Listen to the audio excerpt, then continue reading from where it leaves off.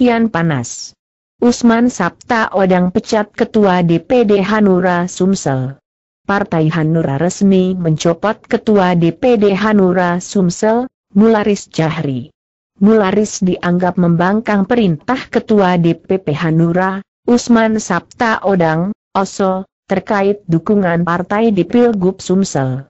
Pak Mularis selaku Ketua DPD Hanura Sumsel ini kan jelas-jelas membangkang dengan keputusan DPP soal Pilgub. Pilgub Sumsel sudah jelas mendukung Herman Duru, tapi beliau dengan terang-terangan mendukung Dodi, kata Henry Zainuddin yang saat ini menjadi pelaksana tugas, PLT, Ketua DPD Hanura Sumsel, kepada Detikom, Senin, 15 Januari 2017.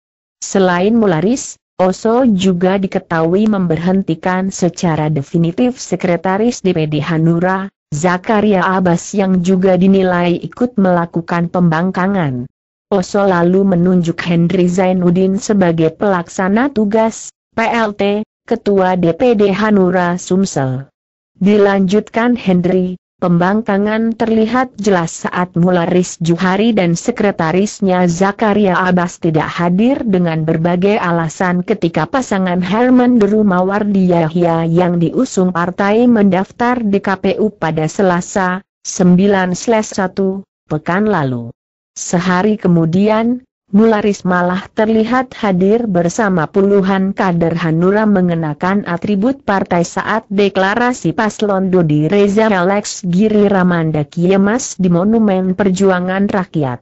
Kehadirannya pun menjadi perhatian banyak orang karena secara terang-terangan Mularis mengaku mendukung putra gubernur Sumsel itu.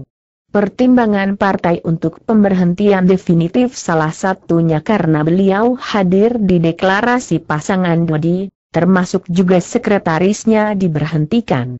Ketua DPP menunjuk saya sebagai PLT Ketua DPD Hanura pada hari Minggu, 14-1, dan surat sudah saya terima langsung, sambung Henry.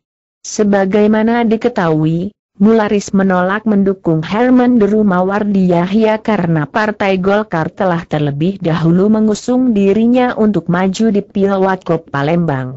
Sehingga dirinya harus menentukan sikap dan memilih mendukung paslon Dodi Reza Alex Giri Ramanda yang sama-sama didukung